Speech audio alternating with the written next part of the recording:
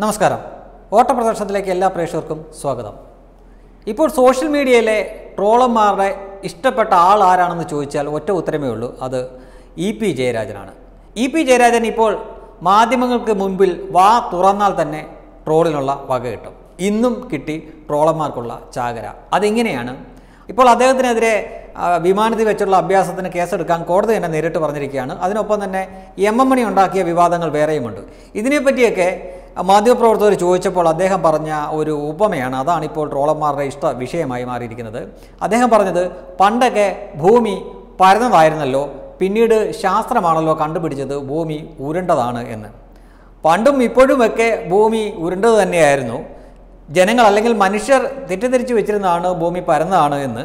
അതുമാത്രമല്ല ഇന്ന് കാണുന്ന ഈ ശാസ്ത്രമൊക്കെ ഉണ്ടാകുന്നതിന് മുമ്പ് തന്നെ എത്രയോ ഒരുപക്ഷെ ആയിരം രണ്ടായിരം മൂവായിരം വർഷങ്ങൾക്ക് മുമ്പ് തന്നെ പുരാണങ്ങളിലുള്ള ചില കഥാപാത്രങ്ങൾ അന്ന് ചിത്രീകരിച്ചിരിക്കുന്ന ഭൂമി ഉരുണ്ടത് തന്നെയാണ്. ഉദാഹരണത്തിന് ചെറിയ ഉണ്ണി ഉണ്ണിക്കണ്ണൻ ഭൂമി മുഴുവൻ ഉണ്ണിക്കണ്ണന്റെ വാ ഇങ്ങനെ ഉണ്ണിക്കണ്ണന്റെ അമ്മ ദേവകി വാ തുറക്കാൻ പറയുമ്പോൾ വായിൽ ഭൂമി മുഴുവൻ കണ്ടു എന്ന് പറയുന്നത് ഉരുണ്ട രൂപത്തിലാണ്. അതേപോലെ തന്നെ വരാഹം ഇങ്ങനെ കൊമ്പിൽ താങ്ങി പിടിച്ച് നിൽക്കുന്ന ഭൂമിയെ കാണിക്കുന്നതും ഉരുണ്ടത് തന്നെയാണ്. അപ്പോൾ ശാസ്ത്രത്തിനൊക്കെ മുമ്പ് തന്നെ ഭൂമി ഉരുണ്ടതാണ് എന്ന് കണ്ടുപിടിച്ച മനുഷ്യരുണ്ടായിരുന്നു. പക്ഷേ ഇദ്ദേഹം ഏത് ശാസ്ത്രമാണ് നോക്കിയെന്ന് അല്ലെങ്കിൽ ഏത് പുസ്തകമാണ് നോക്കിയതെന്ന് അറിയില്ല. അദ്ദേഹം പറയുന്നത് പണ്ടൊക്കെ ഭൂമി പരന്നതായിരുന്നല്ലോ പിന്നീടാണല്ലോ ഇത് ഉരുണ്ടതാണ് എന്ന് കണ്ടുപിടിച്ചത്. അതുപോലെയാണ് സത്യം കുറേ കഴിയുമ്പോൾ മനസ്സിലാവും എന്നാണ് അദ്ദേഹം ഉദ്ദേശിച്ചു വന്നത്. പക്ഷേ കയ്യിൽ നിന്ന് പോയി ഭൂമി പരന്നതാണ് ശാസ്ത്രമാണ് കണ്ടുപിടിച്ചത് എന്ന തരത്തിലാണിപ്പോൾ ശാസ്ത്രമാണ് കണ്ടുപിടിച്ചത് എന്ന തരത്തിൽ ഇ പി പറഞ്ഞു എന്ന തരത്തിലാണിപ്പോൾ സോഷ്യൽ മീഡിയയിലേക്ക് ആദ്യം വെച്ച് അലക്കിക്കൊണ്ടിരിക്കുന്നത്.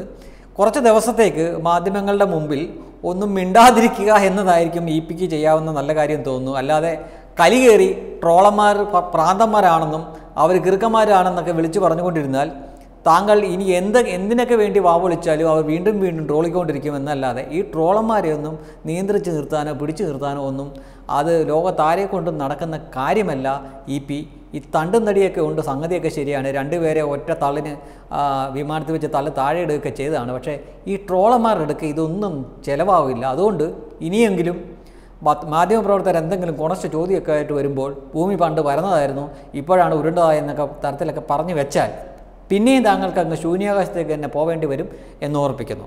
ഇനി ഏതാനും ദിവസങ്ങൾക്ക് മുമ്പ് കാസ പോലെയുള്ള ചില ക്രിസ്ത്യൻ സംഘടനകൾ ചാവറയച്ചൻ എന്ന് വിശുദ്ധനായിട്ടുള്ള വിശുദ്ധ പട്ടം കിട്ടിയ ഒരു മഹത് വ്യക്തി ഉണ്ടായിരുന്നു കേരളത്തിൽ. അദ്ദേഹം കുട്ടനാട്ടിലാണ് അദ്ദേഹം ജനിച്ചത്. പള്ളിക്കൂടം സ്കൂളിൽ നിന്നൊക്കെ ഇപ്പോൾ പറയുന്നതിനൊക്കെ മുമ്പ് തന്നെ പള്ളിക്കൂടം എന്നാണ് ഈ അക്ഷരം പഠിപ്പിക്കുന്ന സ്ഥലം അറിയപ്പെട്ടുകൊണ്ടിരുന്നത്. പള്ളിയോട് ചേർന്നിട്ടുള്ളത് കൊണ്ടാണ് അതിന് ആ പേര് വന്നത്. അതിനൊപ്പം തന്നെ ലോകത്ത് തന്നെ ഒരുപക്ഷെ ഉച്ചക്കഞ്ഞി അല്ലെങ്കിൽ ഉച്ചഭക്ഷണം എന്ന സമ്പ്രദായം നടപ്പിലാക്കിയത് ഈ ചാവറയച്ചനാണ്.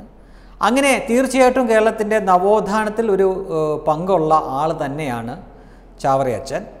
ആ ചാവറയച്ചനെ പറ്റി പഠിപ്പിക്കുന്ന പാഠഭാഗങ്ങൾ ഏഴാം ക്ലാസ്സിൽ നിന്ന് പിൻവലിച്ചു എന്നൊരു വാർത്തയാണ്. അതിൽ അവർക്ക് തീർച്ചയായിട്ടും പ്രതിഷേധമുണ്ടായിരുന്നു. അവരത് ചില ക്രിസ്ത്യൻ സംഘടനകളും സഭകളുമൊക്കെ ആ പ്രതിഷേധം പ്രകടിപ്പിക്കുക തന്നെ ചെയ്തു സോഷ്യൽ മീഡിയയിലും മറ്റുമൊക്കെ. ശരി. അപ്പോൾ സർക്കാരിന്റെ ഭാഗത്തുനിന്ന് പറഞ്ഞത് പത്താം ക്ലാസ്സിൽ അത് പഠിപ്പിക്കുന്നുണ്ടോ എന്നാണ്. പക്ഷേ പത്താം ക്ലാസ്സിൽ ഒന്ന് പറഞ്ഞു പോകുന്നു മാത്രമേ ഉള്ളൂ ഈ ചാവറയച്ചന്റെ സംഭവങ്ങളെ സംഭാവനകളെ പറ്റി.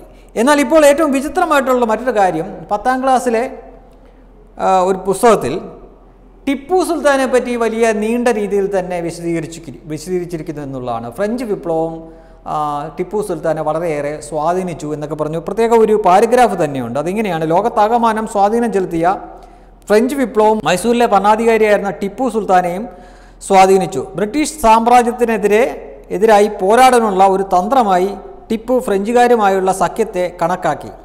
പൗരനായ ടിപ്പു സിറ്റിസൺ ടിപ്പു എന്ന പേര് സ്വീകരിച്ച അദ്ദേഹം ഫ്രഞ്ച് വിപ്ലവത്തിന്റെ ഓർമ്മയ്ക്കായി തന്റെ തലസ്ഥാനമായ ശ്രീരംഗപട്ടണത്ത് സ്വാതന്ത്ര്യത്തിന്റെ മരം ട്രീ ഓഫ് ലിബർട്ടി നടുകയും ഫ്രഞ്ച് ക്ലബ്ബായ ജാക്കോബിനിൽ അംഗമാവുകയും ചെയ്തു എന്നൊക്കെ പറഞ്ഞ് കിടപ്പുണ്ട്. ഇതൊന്നും മുൻപ് നമ്മളാരും പഠിച്ചിട്ടുള്ളതോ അറിഞ്ഞിട്ടുള്ള കാര്യമല്ല. ഇതൊക്കെ എവിടുന്ന് വന്നു എന്ന് പോലും അറിയില്ല. പിന്നെ കേരളത്തിൽ തന്നെ നൂറ് വർഷത്തിന് മുമ്പുണ്ടായിരുന്ന മാപ്പിള ലഹള അല്ലെങ്കിൽ കിലാവത്ത് ലഹള പിന്നീട് ഈ അടുത്ത കാലത്തായിട്ട് സ്വാതന്ത്ര്യ സമരം കാർഷിക സമരം എന്നൊക്കെ പറഞ്ഞ് വാഴ്ത്തിപ്പാടാൻ ശ്രമിച്ച് പരാജയപ്പെട്ട ആ ഒരു ഏതാണ്ട് ആയിരക്കണക്കിന് ആളുകളെ കൊന്നു തള്ളിയ ആ വംശീയ കലാപത്തിനെ പ്രകീർത്തിച്ചുകൊണ്ടുള്ള കവിതയോ പാട്ടോ ഒക്കെ പഠിപ്പിക്കുന്നുണ്ട് പത്താം ക്ലാസ്സിൽ.